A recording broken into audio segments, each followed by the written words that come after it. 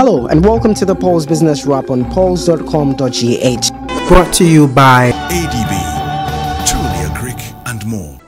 Coming up, Governor of the Bank of Ghana, Dr. Abdul Nasiru Issahaku, has jumped to the defense of the Minister of Finance, Seth Terkper, in the $250 million Eurobond diversion scandal. NPP Vice Presidential candidate Dr. Mahamudu Bawumia asserted that the Bank of Ghana flouted the BOG Act Section 53 for diverting the $250 million meant for the Ghana Infrastructure Fund to a private bank. According to Governor of the Bank of Ghana, Dr. Issahaku, the ministry and the Bank of Ghana did nothing wrong in transferring the $250 million, which was supposed to be the initial deposits of the Ghana Infrastructure Fund. He cited BOG Act Section 53 to back his argument of no wrong done.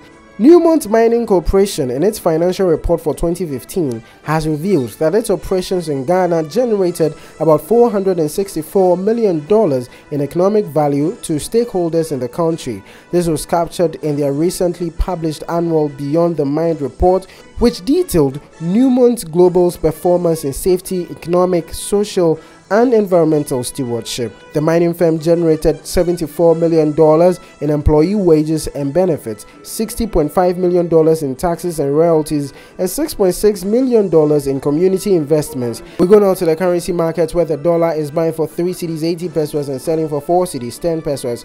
The pound sterling is buying for 5 cedis 48 pesewas and selling for 5 cedis 78 pesewas.